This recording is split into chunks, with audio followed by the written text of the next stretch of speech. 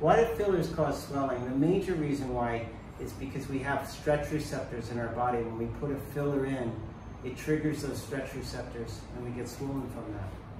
But this is actually a good thing because swelling triggers an immune response which helps us build collagen and tissue in addition to the filler. So, so swelling is not always a bad thing.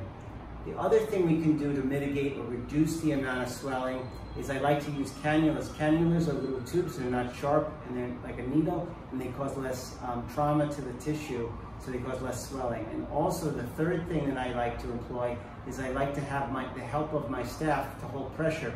If you hold pressure immediately after a treatment or a treated area, there's less bruising, and with less bruising, there's less swelling.